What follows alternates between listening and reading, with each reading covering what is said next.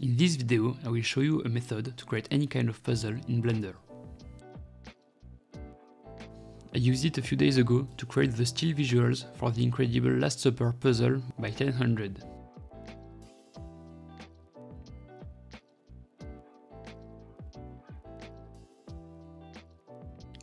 You will just need your puzzle art, a vector template to cut your puzzle, which I will also show you how to create, the free and open source vector graphics editor Inkscape to edit the template, and obviously Blender in a version that allows geometry nodes. Don't worry, we will only use one node in it.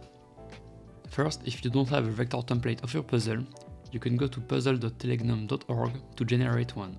Here I am going for 1000 pieces, so let's make it 50 by 20 pieces. And I just edit the size a bit, so that they are not so squished. When you're done, download the SVG.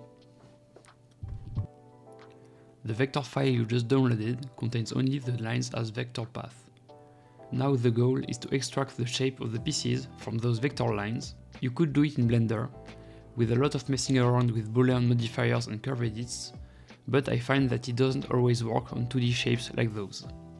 So my workaround is to use Inkscape, which is way better with boolean operations in 2D in order to cut a rectangle following the puzzle cutting lines from your SVG to get all the pieces. In Inkscape, open your SVG template. The template for Telegnom is a single vector object, which is perfect, but if your template is made out of separate lines grouped together, make sure to ungroup them under the Object tab and join everything in a single object under Path and Combine. This method can also work with manufacturer file and way more interesting cutting patterns like the one used in Ten Hundred Last Supper puzzle. The first thing we will do is choose our cutting width because we won't be able to change that later.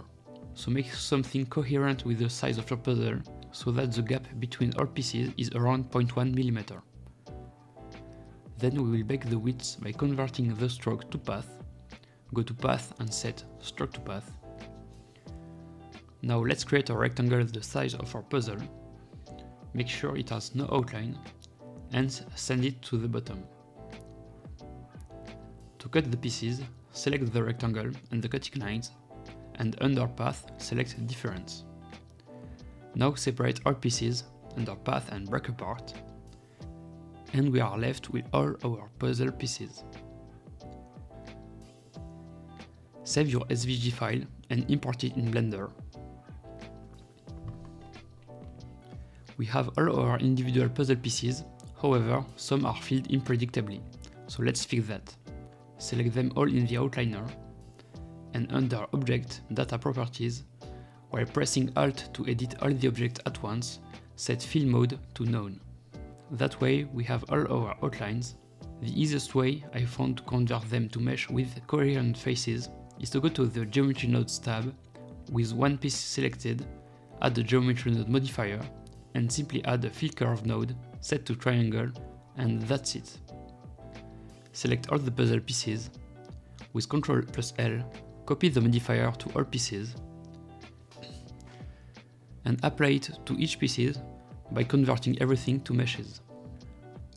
Don't forget to set the origin of each pieces by going to Object, Set the Origin and Origin to Center of Mass. And we have a bunch of perfectly meshed puzzle pieces. With one piece selected, add three materials, one for each side plus the edge. I just changed the viewport display color to see them more easily. Add a solidify modifier, and edit the material offset to apply the corresponding material to each part. Select all pieces, and with Ctrl L link the materials and copy the modifiers.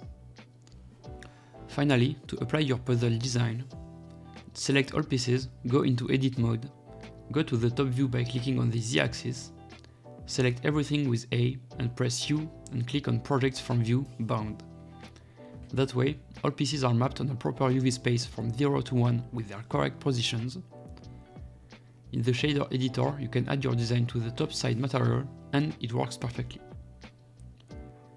Also, if you are using cycles, you can add some slight bevel effect on the top material with the bevel node for a bit more realism. Now to make your shots, you can easily play around with proportional editing to do some kind of wavy movements to the pieces, but we can also do that non-destructively, the same way we did with the playing cards in one of the most recent videos, with a simple geometry node setup. Put all the pieces in a collection on the side, add some geometry and a geometry node setup to it, drag in your puzzle pieces collection, and do some quick instance location and rotation edits to make everything more interesting. Starting from this, you can go pretty nuts with the movement of the pieces while being entirely procedural. Hope that was useful to some of you. Don't forget to like and subscribe if you learned something, and see you next time.